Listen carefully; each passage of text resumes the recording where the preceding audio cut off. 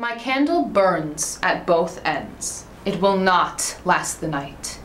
But ah, my foes and oh, my friends, it gives a lovely light. Edna St. Vincent Millay, 1920. While her contemporaries like T.S. Eliot and Robert Frost are more widely known, there is no question of the impact Edna St. Vincent Millay had on American poetry. Her romantic style and passion for life were ignored in her time, but since her death, she has been recognized as the herald of new women. Born in 1892, Millay was raised in Maine, where her mother, Cora, would read the classics like Shakespeare to Edna and her sisters. Though Edna wanted to be a concert pianist, her hands were determined too small. She turned from the ivory keys to a pen and ink, taking up writing. She began gaining notice for her writing in her teens, and by age 20, she received widespread acclaim for her poem Renascence, still today credited as her finest work. The poem is focused on existential ideas around human existence, the limits our lives put on us, and the constraints we put on ourselves. The world stands out on either side, no wider than the heart is wide. Above the world is stretched the sky. No higher than the soul is high.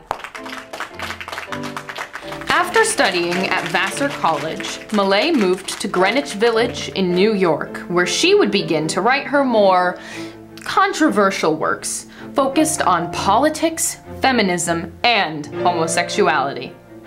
In 1923, she was awarded the Pulitzer Prize for The Ballad of the Harp Weaver, becoming one of the first women to win the honor. It was in this work she popularized the phrase, my candle burns at both ends.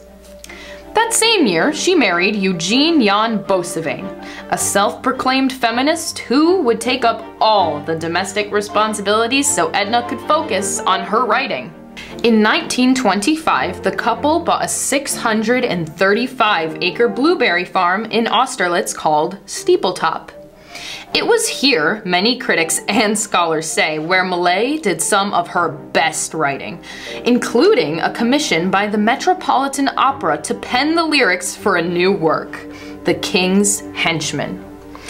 It was in the 1930s that modernism in poetry gained popularity and Millay began to fade from public consciousness. She rarely left Steepletop after a series of ailments and injuries. In 1950, she died at her home in Austerlitz. In the decades to follow with the growing feminism movement, my work was revisited for its expressions of freedom and individualism written during a time many women were stifled and silenced.